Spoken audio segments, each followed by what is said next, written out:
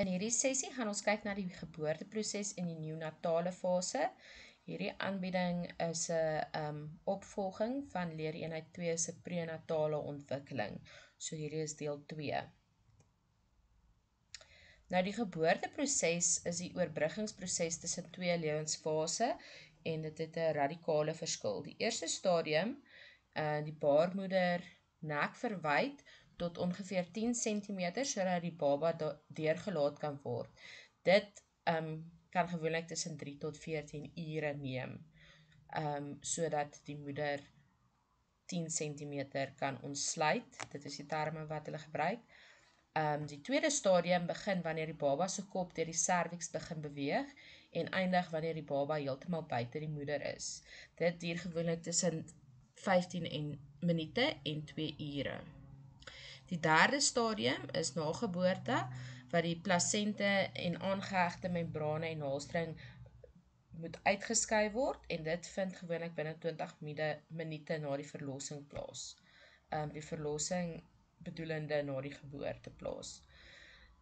Tydstuur van die normale geboorteproses wissel baie. Dit is gemiddeld tussen 14 tot 15 uur kan tot so lank soos 24 uur duur of so kort soos 3 ure en minder wees. Die geboorteproses in die geval van eersgeborenes is gewoonlik langer. Um vrouens met hulle tweede, derde of vierde bevalling se geboorteproses is oor die algemeen vinniger as met jou eerste kind. Hier is net die verskillende fases waardeur die baba gaan en die posisie en wat gebeur. Die neonatale fase, dit is die periode tussen geboorte en wanneer die baba 4 weke oud is. Nou jou fisiese voorkoms van die pasgeborene is geswolle blou rooierige gesig. Um dit is as gevolg van die drukking waardeur die baba gegaan het in die geboortekanaal van die ma. 'n uh, breë en plat neusie, geswolle ooglede en oogbanke en uh, skewe oortjies. Jou liggaamsproporsies, die kop is ongeveer kwart van die totale liggaamsgrootte. Die arms en bene kort en in verhouding met die res van die liggaam en hulle nekspiertjies is baie swak. Um hulle kry soms geelsig wat die lewer nog nie fys fisiologies teen volle ontwikkel het nie, waarvoor hulle dan behandeling moet kry in die hospitaal. Jou gemiddelde gewig van 'n pasgebore um baba is tussen 2.5 tot 4 um 0.5 kg en um meeste babas, gesonde babas is so 3.5 kg. Tydens eers die eerste paar dae verloor um pasgeborenes tot 10% van hulle liggaamsgewig as gevolg van vloeistofverlies, swak voedings um inname en swak spysvertering. Begin verlies inhoud teen die 5de dag en bereik by die 10de dag jou oors, hulle oorspronklike gewig weer. Dit gaan ook oor um die manier van voeding um is die moeder besig om te borsvoed. Um dit is ook weer 'n hele ander proses waardeur die moeder en die baba gaan om dit in volle reg te kry om genoeg voeding vir die baba te kry. So dit is ook hoekom hulle soms gewig verloor en jou gemiddelde lengte van 'n pasgebore baba is um 45 cm tot 56 cm en die hartklop is 170 per minuut wanneer hy en 80 um tot 90 slaap per minuut wanneer hulle rus. Nou wanneer 'n babatjie gebore word, um word hulle dadelik geëvalueer deur 'n pediater um nog voor hulle in die ma se arms geplaas word kyk die pediater eers of alles reg is. Um en dit word op 'n app hulle noem dit 'n Apgar skaal um gemeet en die toets word twee keer gedoen. Dit is net 'n fisiese toets, dis nou nie bloedtoets en goed nie. Um dis 'n fisiese toets wat die pediater kyk hoe reageer die baba op verskillende goed.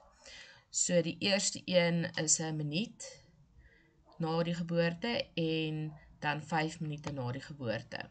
Dan die volgende aspekte word in die telling van 0 tot 2 um herken. So die Apgar skaal is 0 tot 10 as die baba tussen 0 of 2 um kry is dit swak tot normaal. So hulle kyk na die liggaamskleur, die hartklop, ehm um, die refleksieprikkelbaarheid, die spiertonus en die asemhaling. So dit is die vyf goed wat hulle evalueer en dan sal jy sien die Engelse terme wat ek aan die regterkant van jou het, ehm um, gee die akroniem APGAR. Die onderskeie tellings word bymekaar getel. So maksimum telling is 10. Ongeveer 90% van die babas behaal 'n telling van 7 of hoër wat as normaal beskou word.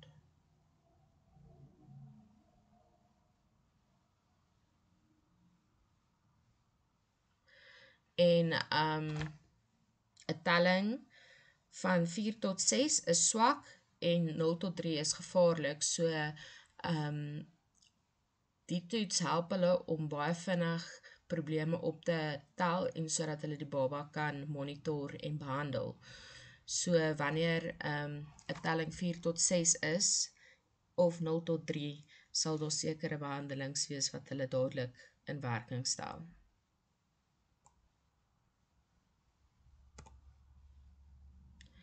Nou aanpassing by die basiese lewensprosesse. Ingryping is die oorgang van prenatale afhanklikheid na selfstandige funksionering.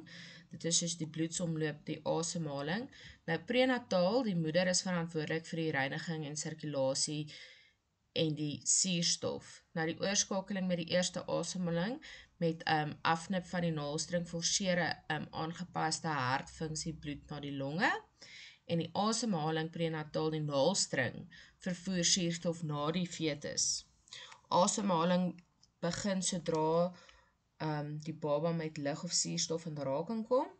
Ehm um, slaim en amniotiese vog belemmer soms asemhaling en dan moet hulle daai slaim en amniotiese ehm um, vloeistof uitsuig om die baba te help om asem te haal.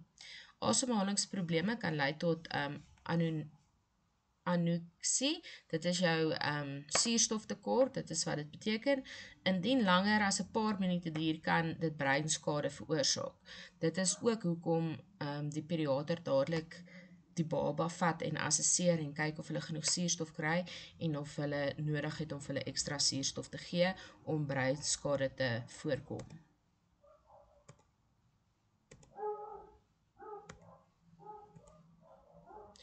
Okay, spysvertering, die knip van die naalstring en die baba neem dan self inname, vertering en eliminering, um, wat gewoonlik deur die naalstring in die ma se baarmoeder plaasgevind het, maar nou dat die baba gebore is, wanneer die naalstring geknip word, moet die spysverteringsstelsel van die baba self onafhanklik begin funksioneer. Um, hierdie oorname is meer geleidelik, baba, die baba verloor um, aanvanklik eers gewig, maar tel dit later weer op. Uh, neem tyd om te suig en slik mechanisme effectief en een ritmiese patroon te vestig en om een voedingspatroon te vestig. Jou uitskeidingsfunksies word reeds enkele minuute na geboorte dier die baba oorgeneem. Eerste eide uitscheiding is so um, swart-groen stof, uh, morsige bezigheid as jylle my vraag, wat die um, voorgeboortelik um, in die darmekanaal versamel het en wat die darm dan skoon gemaakt word. Uh, urinering is ongeveer 18 keer in 24 uur en ontlasting is 4 tot 7 keer in 24 uur. Jou lichaamstemperatuur is die baarmoeder, in die baarmoeder is het 38 grade Celsius, uh, gemiddelde kamertemperatuur is 22 grade Celsius. Die baba se liggaamstemperatuur is die eerste week na geboorte nie baie stabiel nie. Pasgeborene het nie 'n laag uh, liggaamsvet nie. Hitte gaan maklik verlore en behou hulle liggaamstemperatuur deur hulle uh, aktiwiteitsvlakte verhoog as die lugtemperatuur daal. En die sweetkliere begin op ongeveer 'n maand funksioneer. Dit is ook hoekom ehm um, klein babatjies altyd warm aangetrek is. Dit is omdat hulle kamertem um, ag hulle kamertemperatuur askies hulle dis omdat hulle nog nie self hulle liggaamstemperatuur kan reguleer nie Nou die senuweestelsel, die pasgebore baba se brein beweeg so wat um se brein weeg so wat 25% van die volwasse brein. Die cerebrale cortex, die buitenste laag van die brein, is verantwoordelik vir die denke en die probleemoplossing. Ehm um, dis nog nie naaste by ten volle ontwikkel nie. Reflekse speel 'n kernrol kernrol in die neurone ehm um, funksionering en oorlewing soos oogknip, nies, gaap, sluk en loop. Die immuniteit is voorgeboortelik het die fetus antiliggame uit die moeder se bloedstroom via die plasenta ontvang wat ehm um, nageboortelik verskeie maande immuniteit teen sekere infeksies bied, maar hierdie immuniteit gaan geleidelik verlore. Dit kan die baba uitelike jare neem om hulle eie stelsel van weerstandigheid op te bou. Daarom moet elke baba 'n immuniseringsprogram deurloop. Ouers moet sorg uh dat hulle baba nie onnodig aan infeksie blootgestel word nie 'n unieke situasie in derde wêreld lande soos armoede, wanvoeding, afstande, ouerleiding speel ook 'n baie groot rol in die opbou van die immuniteit van 'n kind. Um in hierdie snaakse tyd waarin ons nou is met COVID, speel dit ook 'n baie groot rol. Um as ek nou net dink aan my persoonlike ervaring, my dogtertjie is laas jaar Mei maand gebore en dit was heeltemal 'n ander ervaring vir ons um omdat daar nie besoekers toegelaat is nie. Dit was in die middel van lockdown. Um my man mag nie daar gewees het vir die geboorte. Um ons altyd moes getoets geword het vir COVID voor ek hospitaal toe is. Um ja, en hy mag net hy mag nie kom kuier het nie. So hy was daar vir geboorte en toe het hy ons gesien toe ons ontslaan is. Dit was in lockdown. Oumas en oupas mag nie kom kuier nie uh daar's baie dinge wat jy dan aan dink um soos die lockdown nou verby is was ons maar versigtig want um die klein lyfies is baie vatbaar vir siektes. So uh, jou omgewingsfaktore en um gebeure in die gemeenskap en selfs in die wêreld speel 'n rol um op die ontwikkeling van jou kind en hoe jy as ouer dit hanteer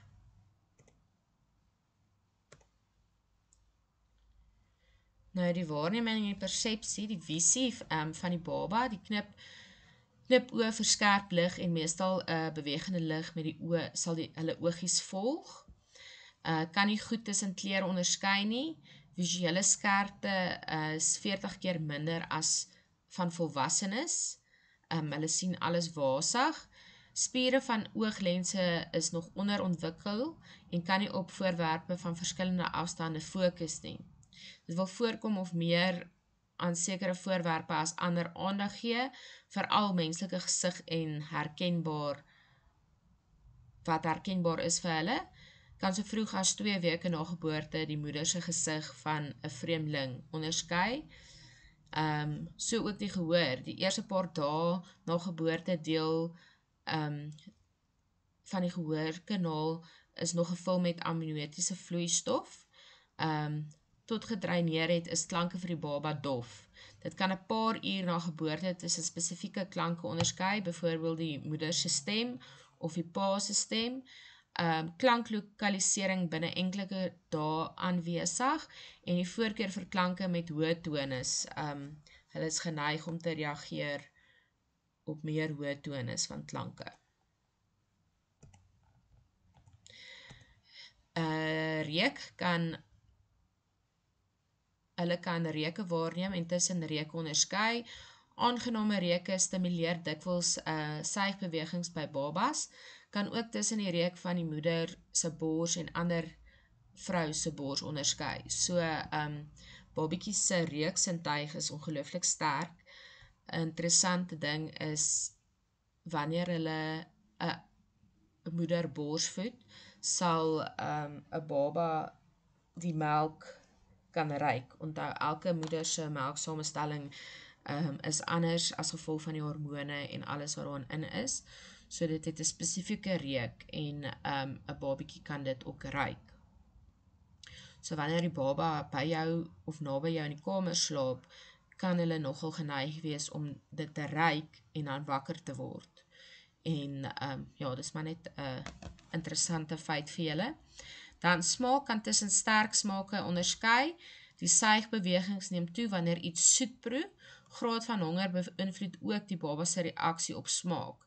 Ehm um, kan smake van moeder se melk proe. Dit is ook ehm um, wat die ma eet het 'n effek op die baba wanneer hulle borsvoed. Ehm um, en hulle kan dit ook in die melk proe en dit kan ook ehm um, spysvertering probleme vir die baba veroorsaak as die ma nie gesond eet nie. Pyn beleef pyn op dieselfde wyse as volwassenes. Oneffektiewe hantering van pyn by ehm um, kan tallekort en langtermyn effekte hê. Uitermate sensitiwiteit vir pyn, ervaring van pyn vir stimule wat nie gewoonlik pyn veroorsaak nie. Dis integrasie van selle. Dis van groot belang dat kontrolering van pyn vir neonate altyd op die voorgrond sal wees. Uh slaap en droom. Jou neonate slaap tussen 17 en 20 uur per dag. 75% van hierdie slaap is onreëlmatig. Slaapsiklusse wissel van 45 minute tot 2 ure lank. Daar word onderskei tussen REM slaap, dis jou rapid eye movement en NRM slaap, non-rapid eye movement. Jou REM slaap word met droom geassosieer. Daar is vasgestel dat neonate ongeveer die helfte van hulle slaaptyd in REM slaap verkeer. Die verklaring hiervoor is dat dit 'n stimulerende funksie verrig in die normale ontwikkeling van die ontwikkelende baba se senuweestelsel. Nou voeding, 'n groot deel van die tyd wat die neonaat wakker is, word afgestaan aan die voedingsproses. Die voedingstye verskil maar en kan wissel tot 8 tot 14 keer per dag met tussenposes van 1 en 'n half tot 5 ure lank. Daar's 'n baie groot debat nog altyd oor borsvoeding en bottelvoeding. Daar is um, baie goeie voordele vir borsvoeding, soos teenliggaampies in die moedersmelk um, verskaf beskerming teen siektes en allergiese reaksie vir die baba. Die voedingsstowwe in die moedersmelk bevorder die breingroei. Moedersmelk word ge um, word makliker deur die baba verteer, so dit is half sagter op hulle um spysverteringsstelsel. Jou borsgevoede babas raak nie maklik oorgewig nie en die borsgevoede baba hoef geen ander voedsel te kry tot hy of sy 6 maande oud is nie. Die voedingswaarde van die ma se melk is so goed dat hulle geen ander voedsel nodig het tot die, op die ouderdom van 6 maande wat jy begin vaste kos gee nie. Uh borsgevoede babas aanvaar vaste kos makliker as bottelgevoede babas. Dit hang ook af um van kind tot kind. Borsvoeding is prakties, borsmelk is steriel en altyd beskikbaar deur die regte kamertemperatuur. Nou daar is um 'n baie groot debat oor um borsvoeding en bottelvoeding, maar daar is um moeders vir wie dit net nie moontlik is om te borsvoed nie, soos moeders wat moet werk, uh wat nie kraamverlof het nie en um dalk fisiese probleme by die baba of by die ma wat um borsvoeding net nie moontlik maak nie. So um bottelvoeding moet mens baie versigtig mee wees met die debat van borsvoeding en bottelvoeding. Ehm um, formulemelk is al so ontwikkel. Ja, dit is ideaal om te borsvoed. Ehm um, en dit het baie voordele, maar indien dit nie kan plaasvind nie, is dit nou nie die einde van die wêreld nie. Jou neonatale leer ehm um, vind in drie forme van leer kom algemeen by die neonat neonate voor. Uh soos klassieke kondisionering van Pavlov wat ons in leer eenheid 1 bespreek het. Jou operante kondisionering uh van Skinner wat sê hulle leer deur middel van respons van die omgewing. Ehm um, nabootsing, bootsgesigsuitdrukking van die volwassene na, soos monde oopmaak, tong uitsteek ensovoorts. Sommige sielkundiges aanvaar nie hierdie bevindinge nie en glo eerder dat neonate slegs outomaties op 'n stimulus ehm um, reageer. Individuele verskille, elke persoon is uniek, selfs elke babatjie wat gebore word. Individuele verskille is reeds tydens die prenatale fase waarneembaar as kies julle daai aktiwiteit moet nie daar staan nie. Dan die neonate verskil ten opsigte van die tonus, um, soos die spanning van hulle spiere, spoed waarmee hulle ledemate beweeg, manier hoe hulle suig, sensitiwiteit vir lig, klank of aanraking, irriteerbaarheid, slaappatrone en manier van huil. Nie net toe te skryf aan die genetiese oorerwing nie. Ekskuus. Jou prenatale omgewingsfaktore, houding en aksies van die ouers, ehm um, die huidige omgewingsfaktore speel alles 'n rol in die ontwikkeling en die individuele verskille van 'n kind. Ouers en persone wat met kinders werk, moet altyd onthou dat elke kind uniek is om te verseker dat die kind optimaal ontwikkel.